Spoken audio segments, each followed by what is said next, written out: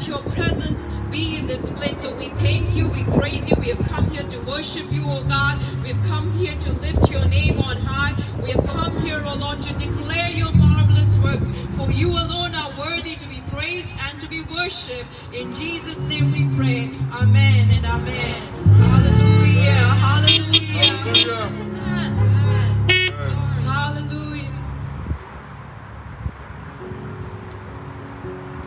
The splendor of our King.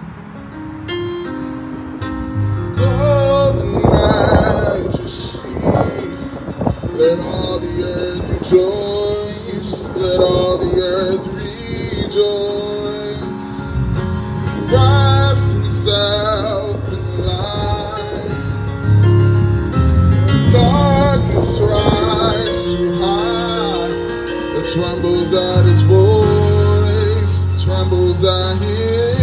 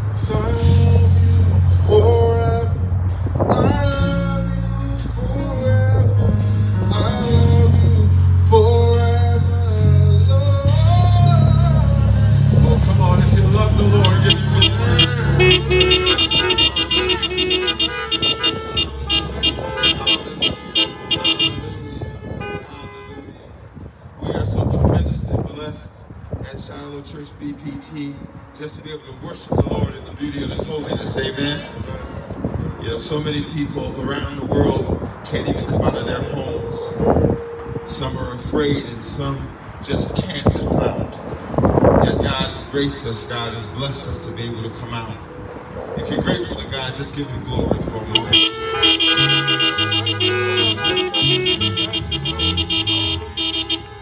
so whether you're watching on media, whether you're looking in from the windows behind us, or if you drove out here today, we're just grateful to God. God is doing a new thing on this earth, He's doing a new thing through you. He's also doing a new thing through some of our young people. Amen. You know, I'm sick and tired of people trying to tell me that all our young people are going to hell in a handbasket. We have some wonderful young people that are just populating not just Shiloh, but all over the world, just moving on behalf of God. Amen. And so one of those young people is here with us today, and she's one of our, our jewels at Shiloh. We got lots of jewels at Shiloh. Amen. This is certainly one of them. She is uh, just risen up, following God. God has lifted her higher and higher and higher. And I'd say this, you ain't seen nothing yet. God has just begun.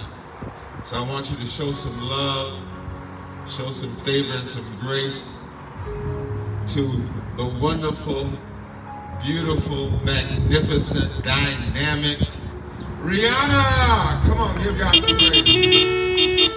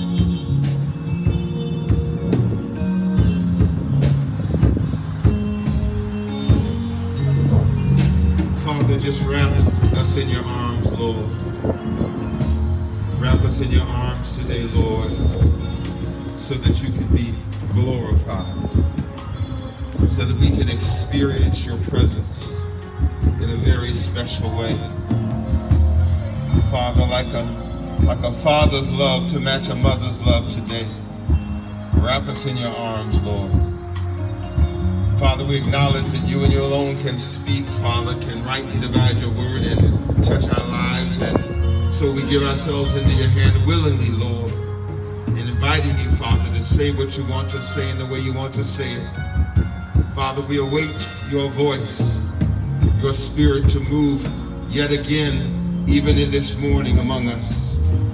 So, Father, wherever we are and whatever we're doing, Father, we arrest our attention unto thee, O God that you would be glorified, that you would be glorified, that you would be glorified. This is our prayer of faith with thanksgiving and confidence in Jesus' name. Amen. Amen. Amen. Happy Mother's Day, everybody.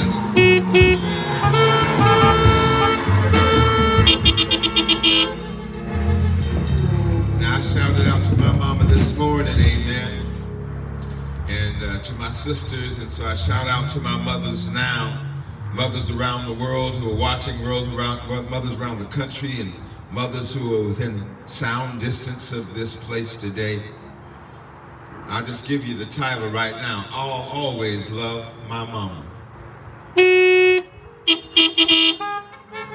I'll always love my mama. Now, you know, there are different types of mothers. There's the absent or missing mother. Some who are gathered here today and some who are listening are saying, you know, it's great that it's Mother's Day, but my mama is missing. Your mama might be missing because she was not doing everything that she might have done in order to be there for you in your time of need. Maybe, maybe, maybe she was there, but now she's gone. Maybe she's carried away into the arms of God. And so this Mother's Day brings a moment of sadness and difficulty as well. I just want you to know that God has an answer for the absent mother, whether she's absent from neglect or whether she's absent because she's gone on from this place. There's also the questionable mother. I started to started to say the bad mother, but I didn't want to hurt anybody's feelings this morning. Everyone who is assigned and given the gift and opportunity to be a mother does not exercise it wisely. And so you have to admit now, now we have this thing that every baby you see, everyone says, oh, that's such a beautiful baby. But there are some babies that are, to the human eye, more beautiful than some to others. Amen. But there are also some mothers who are better mothers than other mothers. And if, just put somebody on notice, if you think you had a bad mama, then uh, she did give you life no matter how many mistakes she's made and how many hardships you've gone through because of her, your mother, because of her, your mother did give you life and and you weren't aborted, snatched out of the womb by her will, and said she chose to suffer through those nine months and bring you forth. So the absent mother, the questionable, maybe even bad mother, and then there's the good mother. Hmm? The good mother. I only have one question for the mothers that are listening today. Which one are you? Are you the absent mother, neglectful, or gone? Are you the questionable mother who some might call even bad? or are you the good mother? Either way, and no matter which mama you have, you ought to say this morning, I'll always love my mama. Let's get straight to it. This questionable mother that I was talking about, this one that some say is a bad mother. Got a couple of biblical examples. Watch out now. See if God is reading your script this morning. Genesis 27 tells the story of two brothers, uh, Esau and Jacob, born to uh, Isaac and his wife. And this mother of these two boys had a favorite son. You know how it is that there's somebody in your family that your mama likes better than you? Or maybe you're that one that is the favorite. But favoritism can create trouble. And so there's a jealousy between the brothers, Esau and Jacob, and the mother is promoting Jacob. The father is promoting Esau. Esau's a man of the field, and Jacob's a man who likes to hang around his mama's skirt tail sometimes. But the scripture starts like this in Genesis 27, 20, when Genesis 27, 1. When Isaac was old and his eyes were so weak that he could no longer see, he called for Esau, his older son, and said to him, My son, here I am, he answered. Isaac said, I am now old and don't know the day of my death. Now then, get your equipment, your quiver and bow, and go out to the open country to hunt some wild game for me. Prepare me the kind of tasty food I like and bring it to me, so I may give you my blessing before I die. Now, Rebekah was listening as Isaac spoke to his son Esau. When Esau left for the open country to hunt game and bring it back, Rebekah said to her son Jacob, Look, I overheard your father say to your brother Esau, Bring me some game and prepare me some tasty food to eat so I may give you a blessing in the presence of the Lord before I die. Now go, my son, talking to Jacob, she says, listen carefully and do what I tell you. Go out to the flock and bring me two choice young goats so I can prepare some tasty food for your father just the way he likes it. Then take it to your father to eat so that he may give you his blessing before he dies. Jacob had some sense, y'all. He said to Rebekah's mother, but my brother Esau is a hairy man while I have some smooth skin. What if my father touches me? I would appear to be tricking him and would bring down a curse on myself rather than a blessing. His mother said to him, My son, let the curse fall on me. Just do what I say. Go and get them for me. This mother is teaching treachery to her child, telling her son it's all right to lie to get what you want. You just do anything it takes to get your quote unquote blessing. Even Jacob realizes there's a potential curse in this thing, but his mama just doesn't demonstrate the sense in these moments to do what she should be doing. She's leading him astray. She's encouraging him to sin. I wonder, mothers, what your rap sheet is. When your child tells you uh, that everybody is doing it, do you just say, oh, it's all right then, since everybody is doing it, you ought to do it too? Is that the mother that you are? Are you the mother that just looks the other way and turns a blind eye? Are you the mother that encourages uh, the treachery? That's who Rebecca was. That's why she's a questionable mother. But in the New Testament, I found another questionable mother. In Matthew 20, beginning in verse 20, there's this story that unfolds. The scripture says this. Then the mother of Zebedee's sons came to Jesus with her sons kneeling down, asked a favor of him. What is it you want? He asked. She said, Grant that one of these two sons of mine may sit at your right and the other at your left in your kingdom. Now, Jesus has just told them he's going to die. And the first thing that she says is, Let me uh, make an intercession for my sons so they can get some glory when Jesus is gone. Uh, my father once told me, he said, if you think that people can't do without you, this is a scene from Jesus's life, uh, just die. And when you die, if they are good people the next day, they might have a moment of silence before they fight for your stuff. Jesus is not even gone. Just proclaim that he's going to die for them. And yet they're already fighting for his stuff. How many, how many have ever thought, Mama, stay out of my business? Uh, when your mother's trying to tell you what to do, trying to predict what your trajectory would be, trying to run their child's life, trying to determine their future, but really, maybe just seeking glory for herself. She saw the way the crowds followed Jesus. She saw the way that everybody was all up under him. And, and, and so uh, she said, well, if my sons uh, take these sheets, if my sons rise up, then maybe I'll get some glory too. Maybe I'll, I'll get some of this blessing and some of this popularity that Jesus has. After all, everybody loves Mary. Uh, I, I, I want to be like her. The questionable mother in verse 22 gets these words back from Jesus. You don't know what you're asking, Jesus said to, to them. Can you drink the cup I'm going to drink? We can, they answered. And Jesus said to them, You will indeed drink from my cup, but to sit at my right and my left is not for me to grant. These places belong for those to whom they have been prepared by my Father. I want somebody to recognize that God's got a plan for your life. And, and it might be that your mother can speak into your life. But it might be that you need to just hear the voice of God because your mother's life is not your life. And I say to the mothers, listen to the heart of your child. I'm reminded of the police chief of the city of New Haven, Connecticut, Tony Reyes.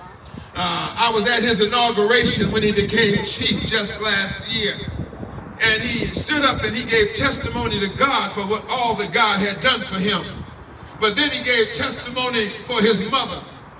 He said his mother spoke into his life when he became an officer, saying, one day, son, you're going to be chief. It seemed like it was so far away, but she didn't badger him or push him or try to uh, cajole him into doing that.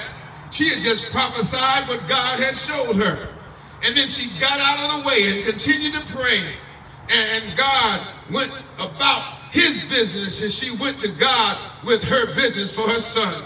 I'm saying to the questionable mother that's trying to run your child's life, uh, get out of the way. And if there's a problem, uh, tell them the truth. Speak truth into their lives. But, you know, they have a destiny that God has called them to.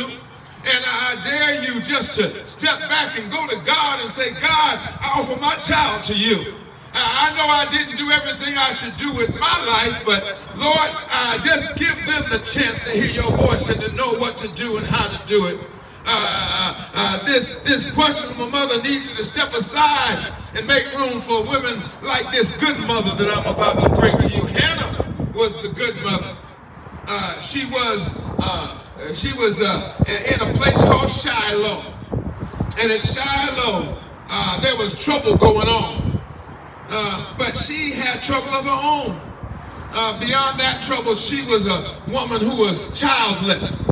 And to be childless in those days was to be uh uh uh, uh, uh, uh, what is it called when you when you they, they, they put you out when they just marginalize you when they, they, they, they just ostracize thank you very much they, they, they just they, they just they just talk about you because you don't have what they have. To have a child, especially a male child, was to ensure that your family would always have land and there would be inheritance for you. And so they scorned her. In those days, men had two wives, like some men do today. Hello, hello, hello. I'm talking to somebody. I'm, I, two wives, one in one house and one in another house. I'm just saying. I'm just saying. I'm just saying but uh, uh, her husband uh, had another wife, but he loved her so much. Uh, the scripture says like this, that he loved her so much that he gave her a double portion every time because he loved her even though she didn't have a child. Uh, do you love somebody because of what they got or do you love them because of who they are in Jesus' name? Samuel 1, uh, Samuel, 1 Samuel 1, 9 says it like this. Once when they had finished eating and drinking in Shiloh, Hannah stood up. Now Eli the priest was sitting on his chair by the doorpost of the Lord's house. in her deep anguish, Hannah prayed to the Lord, weeping bitterly, and she made a vow saying, Lord Almighty, if you will only look on your servant's misery and remember me, and not forget your servant, but give her a son, then I will give him to the Lord for all the days of his life, and no razor will ever be used on his head. Uh, uh, committing to a particular uh, strain of Judaism wherein the hair is not to be cut. She committed her child to God before she was blessed with a child. Oh, how many promises have mothers made to God? Saying, God, if you just let this baby come forth, Lord, if you just make a way, and then you didn't keep that promise. But there's somebody out here that was a good mother like Hannah was. You see, when God uh, answered her prayer, uh, but how then did God answer her prayer? And why is God not yet answering yours? Scripture says that as she kept praying to the Lord, Eli observed her mouth. She was praying in her heart and her lips were moving, but her voice was not heard. Let me put a pin tack right there. The Bible says the Lord knows your heart. He knows your thoughts from afar. You don't have to always jump up and down and turn upside down and do cartwheels. It's all right if that's what the Holy Ghost leads you to do. But God hears your silent prayer. God hears the prayer that you're wrestling with right now. God hears the prayer that you didn't tell anybody and nobody else heard. God hears your prayers. And he says, I- am listening to you, Hannah. I'm listening. But Eli, the priest, uh, says, uh, says, says Eli thought she was drunk and said to her, how long you going to stay drunk, put away your wine? Because he thought her response to not having a, a, a child and a response to everybody dogging her out, but she became a drunkard. But she stands up and says, not so, my Lord, Hannah replied. I am a woman who is deeply troubled. I have not been drinking beer or wine. I was pouring out my soul to the Lord. Help me, Holy Ghost. I was pouring out my soul to the Lord. Is there a mother in here that's been pouring out their soul to the Lord? Is there somebody that's been crying out to God for their children? Is there somebody who's seen their child struggling and not knowing what was going to happen next? You didn't know what to do and couldn't do anything else, and so you just cried out to the Lord. Uh, uh, he, he said, Don't take your servant for a wicked woman. I've been praying here out of my great anguish and grief. She was a mother misunderstood for her fervor in prayer. I want to give an acknowledgement today that might be unexpected to some, and surely she's not expecting it. Uh, don't you understand that if the pastor is the father of the church as the under shepherd under God, then the lady, first lady of the church is the mother of the church under the same hand of the same God. And I have to acknowledge that I did not quite understand my wife. I knew her to be a godly woman and I loved her. Part of the reason that I wanted to marry her was because I knew she could get a prayer through. But when we got married and began to cohabitate in our home, uh, we decided that there would be a prayer room. And, and I didn't understand. I thought we would always be in the prayer room together, praying together all the time. But see, what Hannah understood was that even though her husband loved her and would do anything for her, there was something she just had to go to God to all by herself. I, I, I, didn't understand. I had never seen a woman labor like this before the Lord.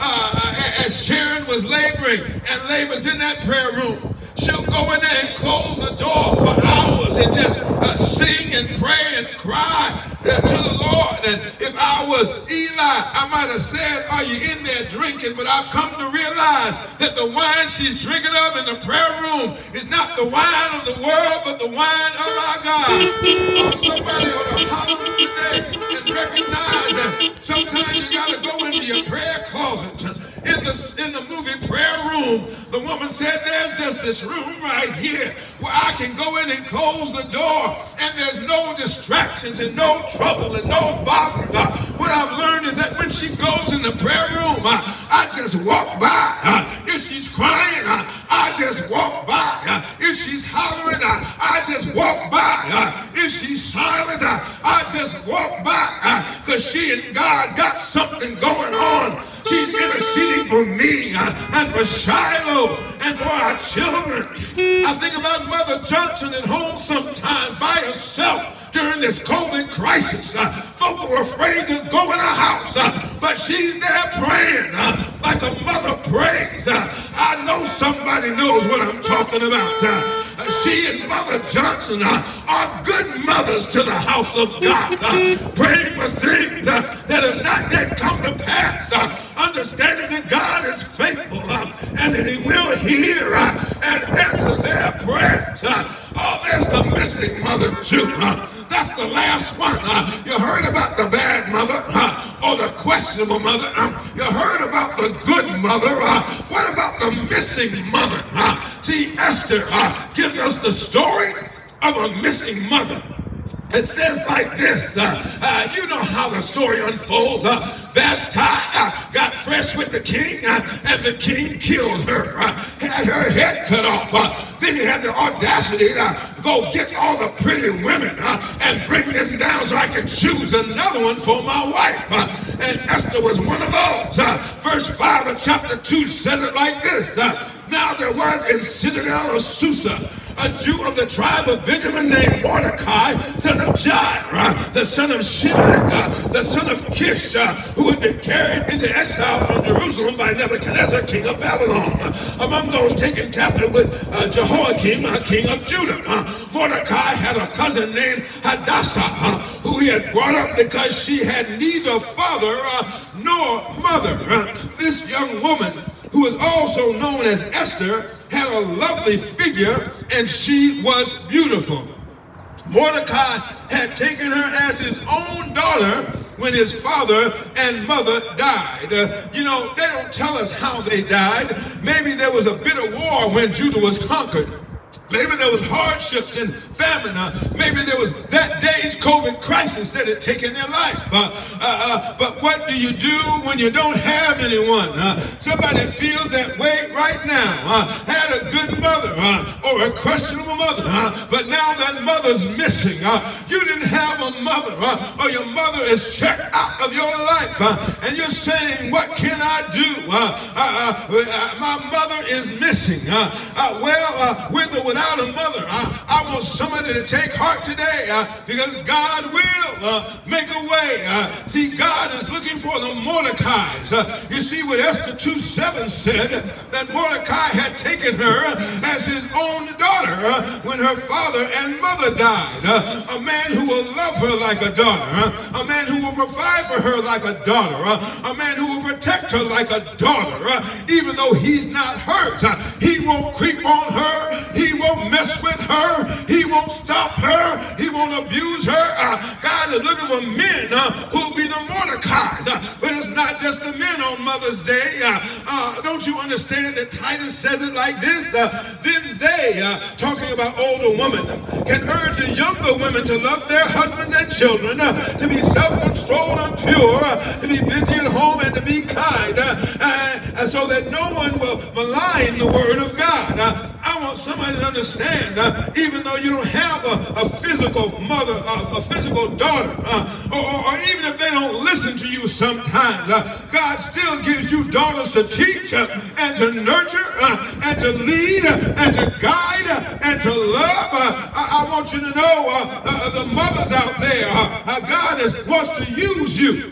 He doesn't say because she's your natural child. He, he says because you're an older woman, because uh, you've been through some things. I wish I could get some help in here.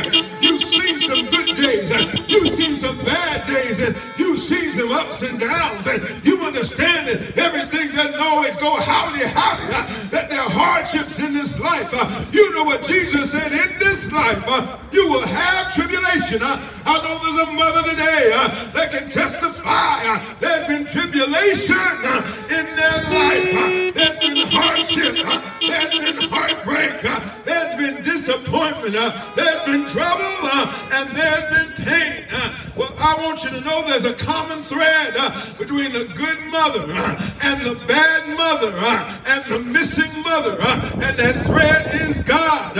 See, see, when we talk about these biblical characters, those that trusted and walked with God, then God made a way. Can I call the roll. Uh, see, Rebecca had Jacob, uh, but Jacob, even though she was deceiving, uh, and he was called a deceiver. He met God at Bethel, wrestled with himself at Jabbok, and had his name changed. God will uh, change your name uh, if you love him, uh, if you go to him. He had a questionable mother, but God came through. Look at James and John, the sons of Zebedee. They followed Christ to the end. See, James died a martyr, killed by a sword at Herod's command inspiring many to follow Jesus. Uh, and John is the one that wrote the marvelous gospel uh, that unfolds the story uh, of the firstborn uh, and only child of the living God. Uh, he's the same one uh, that was given the revelation uh, that is today the blueprint for God's plan in end times. his mother was questionable. she had questionable motives, but God saw him and touched him anyway. so I Somebody understand that God is able? Uh, Hannah, a good mother, I had a good report too. Uh. Samuel was a great warrior for God uh, that killed many in battles, but he was also the prophet who anoints David as king. Esther became the intercessor who risked her own life to save her people. so I'm trying to say what God wants you to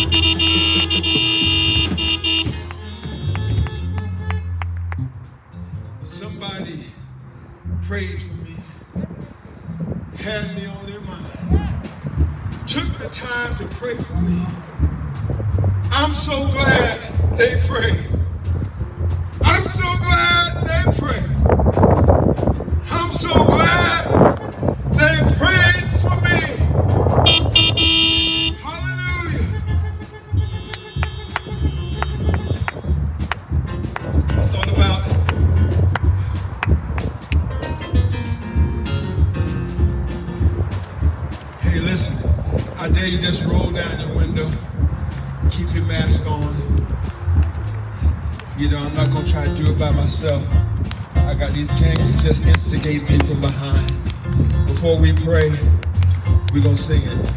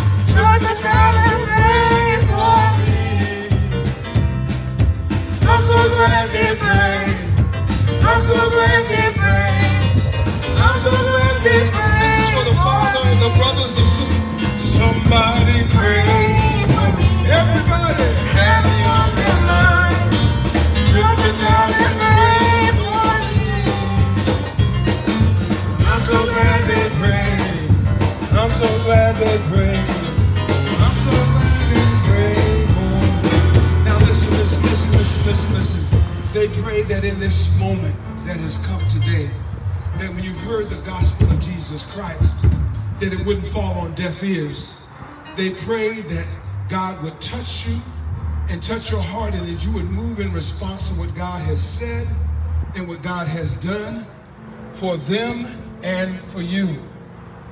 So I want to pray with you today for somebody that's never accepted Christ as their personal Savior, for someone that's never said yes to the Lord. You know, you've been around church, you've been around church, maybe you might even been a member of a church, but you've never really given your heart to God. Then I, I, give you that chance. I invite you to that opportunity right now as we pray together that somebody would receive what mama prayed for, receive what daddy prayed for. Maybe it skipped a generation. Maybe your mama wasn't in church. Maybe she didn't know God, but your grandparents snatched you by the ear and took you to church and killed them also down. Anyhow, you always wondered why mama didn't get it or daddy didn't get it. And you got just enough of it to know that it's real. And now you want it to come alive in your life. Comes alive because the Holy Spirit is deposited in you as soon as you accept Christ. So pray with me now. Heavenly Father, in Jesus' name, this voice speaks for every voice because you hear our thoughts from afar. And someone is feeling this, Lord.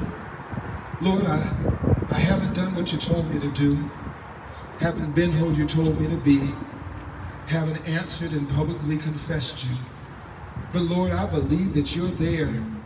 I can see that my mama's prayers or somebody's prayers have been following me. You said goodness and mercy, Father, they have followed me and kept me through danger seen and unseen. I've, I've fallen down, fallen, I didn't. I stumbled and I didn't die. A thousand fell at my left and 10,000 at my right hand, and it didn't come near me because, Lord, you were with me. So, Lord, thank you for being there.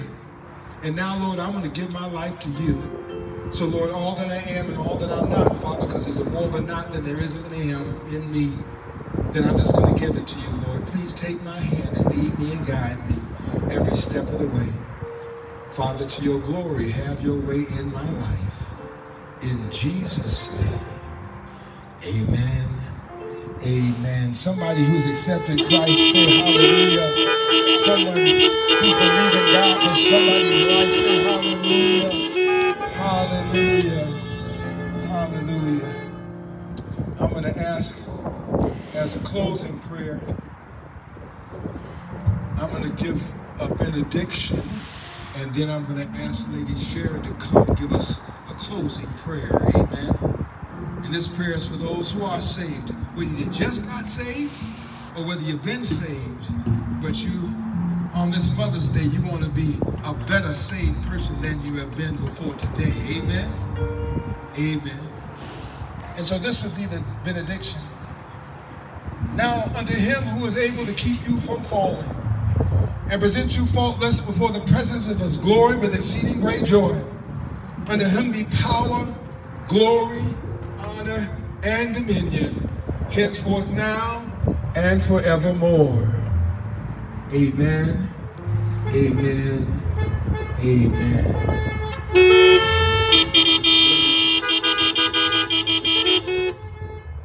After this prayer, the praise team is going to sing a song to kick us out.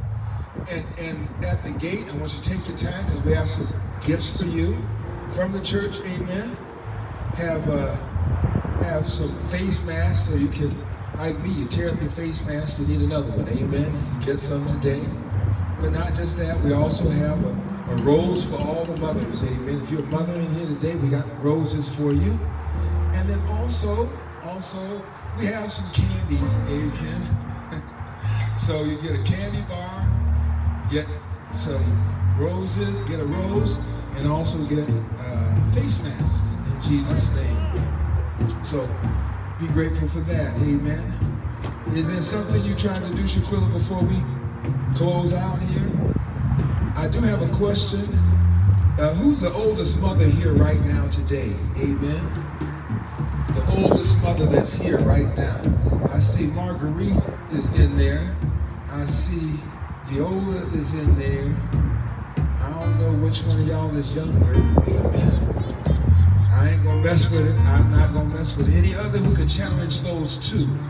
Any other who could challenge those two with age. Amen. All right, then.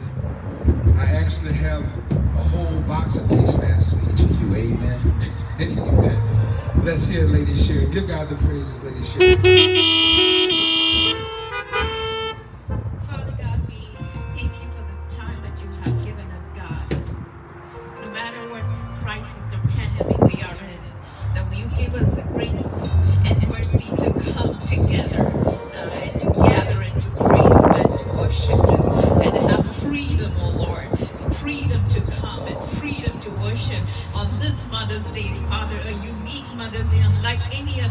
When restaurants are closed, and when we can't go places that this Mother's Day, Father, we pray, Father, for every single mother that is in this place and around this world, oh God, that Father, we you have seen the labor of love that they have, Father God, poured into God, not just their own children, but every person